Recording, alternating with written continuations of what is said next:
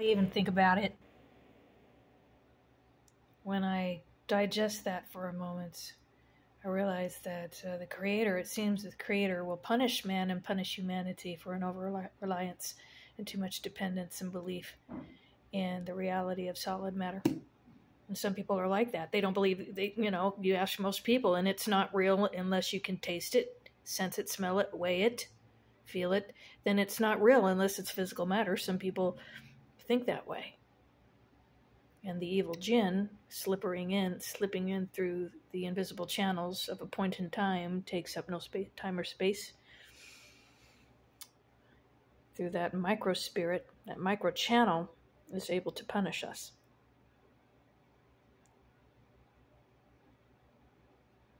Hmm. For,